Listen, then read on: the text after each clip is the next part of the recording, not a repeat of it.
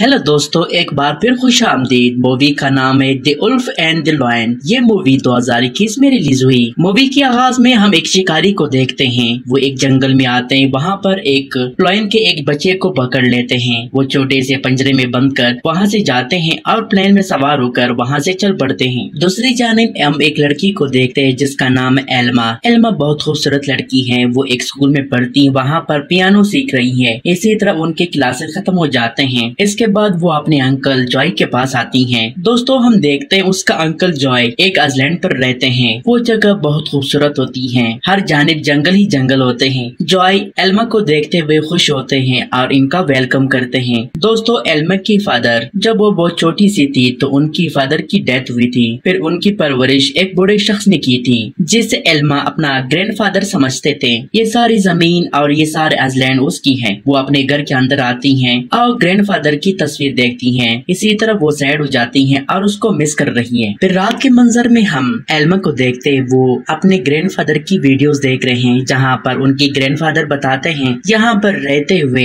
मेरी एक snow Ulf के साथ दोस्ती हो गई। वो रोज मेरे घर पर आते थे। मैं उनको खाना देता था। एल्मा ये सारी वीडियोस देख रही है और खूब एंजॉय कर रही है। उनके साथ रो भी रही है क्योंकि वो अपने ग्रैंडफादर को बहुत मिस कर रही है। दोस्तों, हम देखते हैं इनका घर जंगल के अंदर होते हैं। हर जानब तूफ़ान आ जाता है और शदीद बारिश हो रही है। इसके बाद वो पियानो के पास आती है, पियानो बजाने लगती है। दोस्तों, एल्मा को पियानो के साथ बहुत ज़्यादा प्यार है और जानवरों के साथ भी है। इसी दौरान एक बड़ा सा आवाज़ आ जाता है। हम देखते हैं वहाँ पर प्लेन क्रश कर जाता है और वो जंगल के अंदर गिर जाते हैं। सुबह के मंजर में हम दो शिकारी देखते हैं, जिसका नाम एली और चार्ल्स। वो अपने शिकार में बहुत ज़्यादा माहिर होते हैं। जंगल के अंदर वनहू ने ट्रैप बनाई है। स्नो उल्फ को ट्रैप करना चाहते हैं। उनको मालूम है कि उर्फ़ सबसे ज़्यादा होशियार होते हैं। इसके बाद इनको मालूम हो जाता है कि उर्फ़ इसमें ट्रैप हो गया। वो दौड़ते हुए इनकी जानब जाते हैं। घर के अंदर हम एल्मा को देखते हैं। वो खुद को तैयार करके आज उनका पहला दिन है। वो जंगल में जाकर एंजॉय करना चाहती है। इसी तरह वो तैयार होकर जंगल की जानब जाती है। दूसरी जानब हम वो दो शिकारी देखते हैं। जब वो अपने ट्रैप के पास आते, वहाँ पर उल्फ नहीं होती, क्योंकि वो बहुत चालाक थी।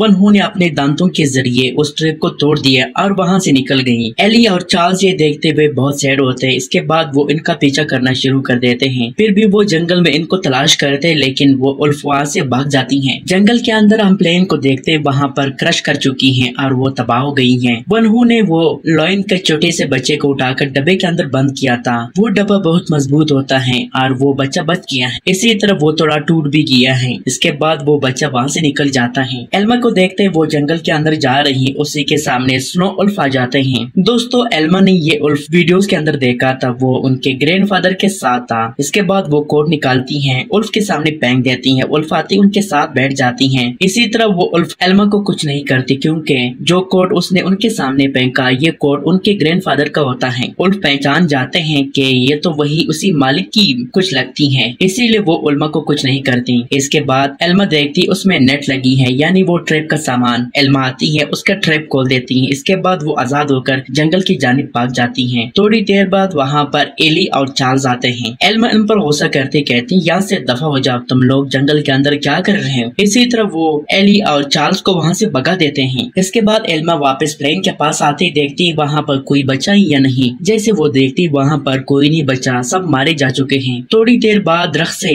शेर का बच्चा गिर जाता है, वो आते हैं, इसके गोद में लग जाते हैं। एल्मा ये देखते हुए चौंक भी जाती और खुश भी होती है। इसी तरह वो शेर का बच्चा उठाकर घर लाती है। थोड़ी देर बाद वहाँ पर स्नो उल्फ आती। उसके मुँह में छोटा सा बच्चा होता है। ये बच्चा उल्फ का बच्चा है। एल्मा दोनों को साथ देखते हुए बहुत खुश होती है। थोड़ी देर बाद उल्फ और लाइन साथ खेलने लगते हैं। एल्मा ये देखते हुए खुश होती है। थोड़ी देर बाद वहाँ पर उनके अंकल पहुँच जाते हैं जॉय। जॉय ये देखते हुए चौंक जाते हैं। अपनी भतीजी से कहते हैं, तुम यहाँ पर इनके साथ क्या कर रही हो? एल्मा कहते, नहीं, वो इसरार करती आखिर उनके अंकल मान जाते हैं। जॉय बताते हैं, जंगल के अंदर हर जानब जंगल के रेंजर घूम रहे हैं। वो शेर के बच्चे को तलाश कर रहे हैं। फिर दोनों बाहर आते हैं। उनका सामना रेंजर के साथ हो जाता है। रेंजर उनसे शेर के बच्चे के बारे में पूछते हैं। एल्मा बताती है, हमें कुछ नहीं मालूम। इसी तरह वो इनको झूठ बोलती है। कुछ वक्त गुजरने के साथ एल्मा इनको पाल रहे और इनका ख्याल रख रही है। जैसे स्नो उल्फ वहाँ पर आती है तो शेर का बच्चा भी दूध पीते हैं और उनका बच्चा भी, यानी उल्फ का बच्चा। इसी तरह एल्मा भी अपनी एक्टिविटीज़ में बिज़ी हो जाती है। दोनों एल्मा के साथ खुशी खुशी के साथ रह रही है। एल्मा को ये बहुत पसंद आने लगती है। फिर एक दिन दिन वो अपने अंकल के पास जाती हैं। अंकल अपनी भतीजी को देखते हुए खुश होते हैं। थोड़ी टाइम गुजारने के बाद जब वहाँ से जाने लगती हैं, वो पूछती हैं, तुमने उन दोनों के साथ क्या कर दिया? एल्मा झूठ बोलती हुई कहती, वो मेरे पास नहीं है, मैंने उनको आज़ाद कर दिया। के बाद वो कुछ नहीं कहती और वहाँ से चल पड़ती जब वो वापस अपने घर आती है। दोस्तों, हम देखते हैं यहाँ पर बहुत वक्त गुजर चुका है। शेर का बच्चा और उर्फ़ का बच्चा बड़े होने लगते हैं। एल्मा का वक्त भी इनके साथ निकल रहा है। रोज एल्मा दोनों को जंगल में ले जाते ताकि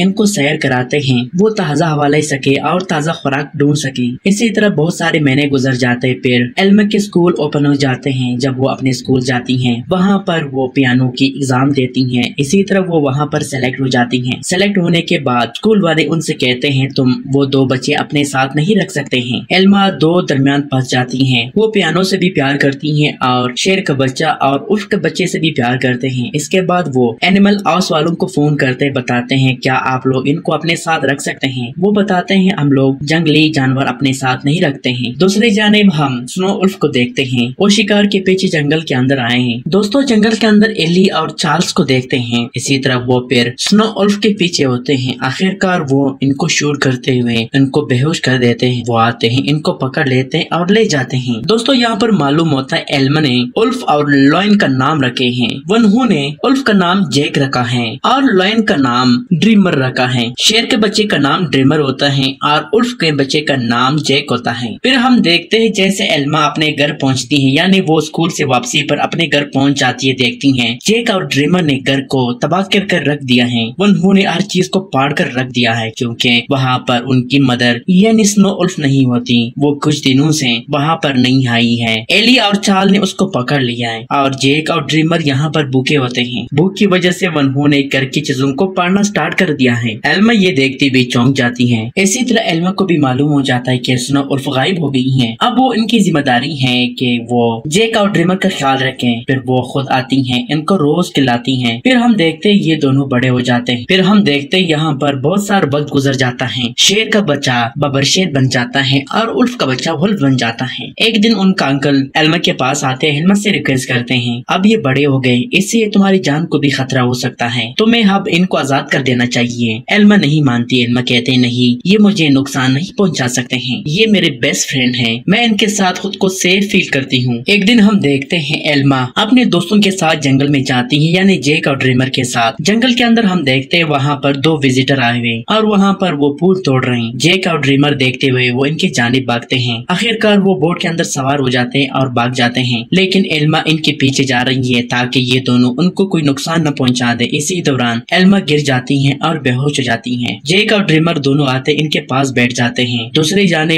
हम एल्मा के अंकल को देखते हैं। वो एल्मा के साथ कॉन्टेक्ट करना चाह रहे हैं, लेकिन वो कॉन्टेक्ट नहीं हो पा रहे। इसी तरह वो परेशान हो जाते वो समझते शायद जेक और ड्रीमर ने उनकी बतजी को नुकसान पहुँचा दिया है। इसके बाद वो जंगल के अंदर आते उनको हर जानिब सर्च कर रहे हैं। आखिरकार वो इनको तलाश करते हैं। इसके बाद वो रेंजर वालों को फ़ोन करते कहते हैं, इन दोनों को पकड़ लो। उन्होंने हमारी बतजी को नुकसान पहुँचा दिया। फिर हम देखते हैं एल्मा हॉस्पिटल के अंदर होती हैं। वहाँ पर उनकी ट्रीटमेंट चल रही है। डॉक्टर एल्मा के अंकल से कहते हैं, यानी जॉय से अगर जेक और ड्रीमर वहाँ पर नहीं होते, उन दोनों ने उनकी हिफाजत की। ये सर्दी की वजह से मर सकती थी। आखिरकार जॉय को समझ आ जाता है कि वाकई ये दोनों उनकी बेतजी, यानी एल्मा की दोस्त हैं। दूसरी जाने में हम रेंजर को देखते उन्होंने एली को तलब किया है, उनके साथ एक और शख्स को तलब किया, जिसका नाम एलन। एलन को तो सब जानते वो है। एलन सर्कस का आदमी होते हैं, वो सर्कस में काम करते हैं। दोनों ऑफ़िस के अंदर पहुँच जाते हैं, रेंजर वाले आते हैं। उल्फ को एली को दे देते हैं। एली उल्फ को देखते हुए वो समझ जाते हैं। जेक स्नो उल्फ का बच्चा है। इसी तरह वो समझ जाते हैं और खुश होते हैं कि आखिरकार उनकी जोड़ी उनको मिल गई। रेंजर वाले आते हैं, उनको उल्फ देते हैं। इसके बाद वो एलन को बुलाते हैं। एलन के साथ उनका बेटा रफा भी होते हैं। रेंजर वाले ड्रीमर को यानी लॉयन को एलन को दिखाते हैं। एलन शेर को देखते हुए बहुत खुश होते हैं। इसी तरह उनका बेटा भी खुश हो जाते हैं। दोस्तों, हमें जैसे मालूम है कि एलन सर्कस का काम करते हैं। वो शेरों को सर्कस में रखते हैं, लोगों को दिखाते हैं। इससे वो बहुत सारे पैसे कमाना चाहते हैं। दोस्तों, हम हेली को देखते हैं। हेली उल्फ को उठाकर जंगल में ले जाते हैं। वहाँ पर उनकी मदर यानी स्नो उल्फ आती है। वो अपने बेटे को देखते हुए बहुत खुश होती है। उनके साथ एली और एली का दोस्त भी खुश हो जाते हैं। दूसरी जानब एलन को देखते एलन शेर को उठाकर सर्कस में ले जाते हैं। सर्कस में इनको देखने के लिए बहुत सारे लोग जमा हो जाते हैं। हॉस्पिटल के अंदर हेलमा को देखते वो वोश में आती है। सबसे पहले वो अंकल से कहती है, मेरा दोस्त कहाँ पर है? यानी जेक और ड्रीमर उनके अंकल बताते हैं, वो रेंजर के पास हैं। एनिमल हाउस में होते हैं। एल्मा रेंजर हाउस के अंदर आती है। रेंजर ऑफिसर से कहती है, मेरे साथी कहाँ पर है? वो बताते हैं जेक यानी उल्फ को एली को दे दिया। वो जंगल में लेकर गए हैं। और ड्रीमर यानी लॉयन को सर्कस वालों को दे दिया है। एली आती इन पर बहुत गुस्सा करती है। एल्मा आती है इनको तलाश करना शुरू कर देती है। इसके बाद एल्मा एली को फ़ोन लगाती है। एली कहते हैं, उल्फ मेरे पास है। वो अपनी मदरस में उल्फ के साथ बहुत खुश है। दूसरी जानी वो ड्रीमर को तलाश करना शुरू कर देती है। बहुत सारी सर्कस में जाती है। वहाँ पर वो ड्रीमर नहीं मिल रहा। दोस्तों, जंगल के अंदर हम जेक को देखते हैं। जैक एक सुराख बनाते ही वो वहाँ से निकल जाती हैं। इसके बाद वो अपने साथी ड्रीमर को तलाश करना शुरू कर देती हैं। आखिरकार उनको ड्रीमर मिल जाता है। सर्कस वाले उनको सर्कस में लाते हैं। इसी मौके पर जैक आते हैं। उनका पंजर खोल कर वहाँ से दोनों निकल जाते हैं। इन दोनों के निकलने के बाद सारे लोग परेशान हो जाते हैं कि आखिर ये दोनों कहाँ पर गए हैं। दोस्तों एल्मा को अपने घर में देखते हैं। उनके पास एली आ जाते हैं। जैसे एल्मा एली को देखती है, वो बहुत गुस्से में आती है क्योंकि एली ने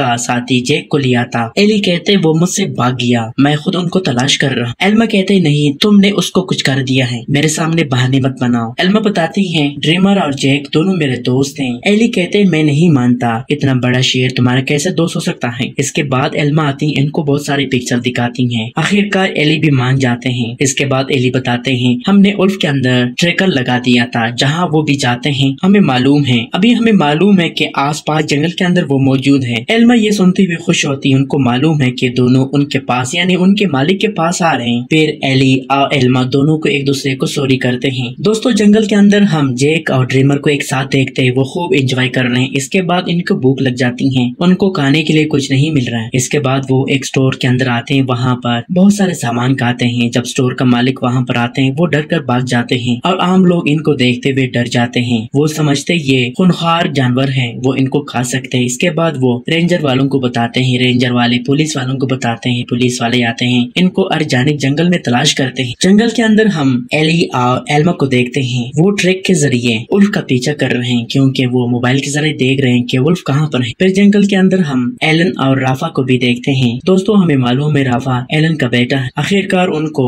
ड्रीमर और जेक मिल जाते हैं। वो शूट करते हुए जेक को शूट कर देते हैं। इसी तरह जेक बेहोश हो जाते हैं। राफा भागते हुए उल्फ के पास आते उनसे वो सोही निकाल देते हैं। साथ वो ट्रेकर भी निकाल देते हैं और वहाँ से चल पड़ते हैं। इसके बाद वो क्लब के अंदर आते हैं। थोड़ी देर बाद वहाँ पर एली और एल्मा भी पहुँच जाते हैं। एल्मा उनसे कहते हैं, तुम लोगों को ये ट्रेकर कहाँ से मिला? राफा झूठ बोलते हुए बताते हैं, मुझे ये रोड पर मिला। यानी उसने झूठ अपने फादर के सामने इसीलिए बोला था कि वो शक न कर सके कि उन्होंने जेक के साथ ऐसे किया था। इसके बाद एली और एल्मा बाहर आते हैं। राफा भागते हुए इनके पास आते हैं। इनके सामने सच बोलते हैं। फिर राफा भी इनके साथ जाते हैं। फिर तीनों जंगल के अंदर पहुँच जाते हैं। आखिरकार हेलमा दोनों को तलाश कर लेते हैं। इसी मौके पर वहाँ पर पुलिस वाले भी पहुँच जाते हैं, दोनों को मारना चाहते हैं। एल्मा आती है वहाँ से खौफे तरीके से उनको निकाल देते हैं। वहाँ पर नदी आ जाती है। दोनों को वहाँ से पार कराना चाहते हैं, लेकिन ड्रेमर उनके साथ नहीं जाते क्योंकि वो पानी इनको नहीं पसंद। ड्रेमर वापस जंगल में चले जाते हैं। एल्मा, जेक के साथ पानी पार करते हुए वापस अपने घर पहुँच जाते हैं। कुछ दिन गुजरने के बाद ड्रेमर भी पहुँच जाते हैं। एल्मा दोनों को साथ देखते हुए बहुत खुश होती है। फिर आखिरी मंजर में हम देखते हैं। एल्मा ने पियानो का प्रोग्राम रखा है, वहाँ पर बहुत सारे लोग आते हैं। इसी तरफ़ वो ये कहानी भी बता रही है। लोग ये कहानी सुनकर बहुत खूब इंजॉय करते हैं। मूवी का अख्ताम यहाँ पर हो जाता है।